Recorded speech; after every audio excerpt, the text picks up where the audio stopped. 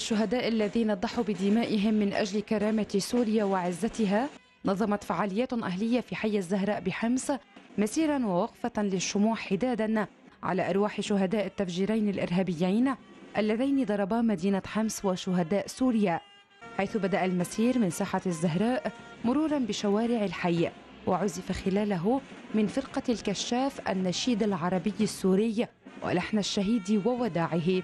باسم أهالي حي الزهراء. اليوم أول شيء عندنا فعاليتين. أول فعالية اللي هي انتصار تدمر وتحرير تدمر. زائد اليوم بدنا نقوم بوقفة شموع على أرواح شهداء الأمن آه، والتفجيرات اللي قاموا فيها الإرهابيين وروح سيادة العميد حسن دعبول لنرجى العالم. وبدنا نجدد العهد الذي وفى به الشهداء. هكذا هم أهل الزهراء.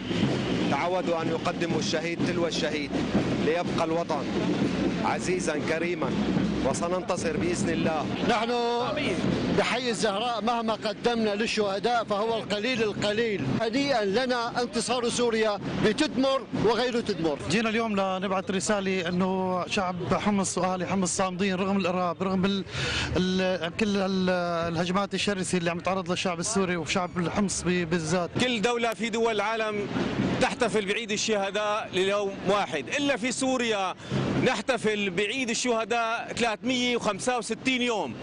الشهداء الذين هم أكرم من في الدنيا وأنبل بني بشر نحن أهالي الزهراء نشارك بمسيرة الشموع ونترحم على روح الشهداء آه، بجميع المحافظات. مو بس بالزهراء بجميع محافظات القطر العربي السوري. أتوا أهالي حي الزهراء آه، للساحة العامة بالزهراء آه، شغلوا الشموع قربانا لروح الشهيد.